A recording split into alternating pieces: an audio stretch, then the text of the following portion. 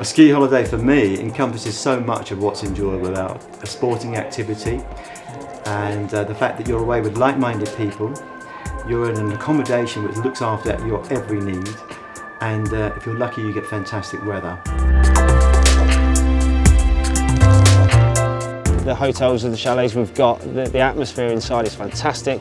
Everybody within our hotels has got something in common, which is snow sports. The lunch stops that we go out for, the après-ski, the evening meals, the, the stories that you tell at the evening, and then obviously your evening meal and the wine just ends a fantastic day, every day.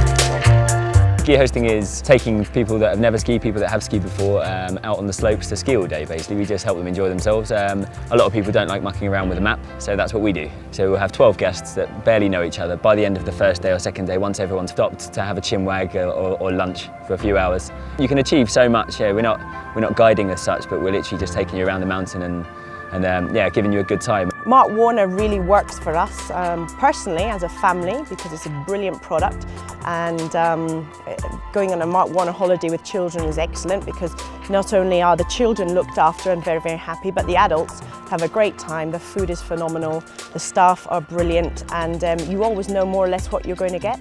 Um, I've never been disappointed at all.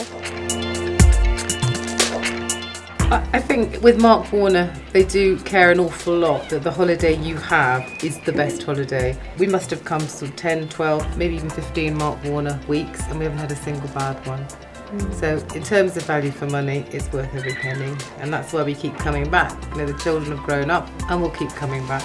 I also come to Mark Warner holidays with my girlfriends without any children, so you can have the whole package really.